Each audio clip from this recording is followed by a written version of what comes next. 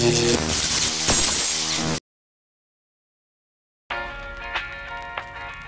let them know. Yo, Two Fresh here. My homie right here, smiling hard as hell. Gramatik, Mimosa, Two Fresh tour for 15 days. Yo, please check it out. This is what we get. Smiles all day.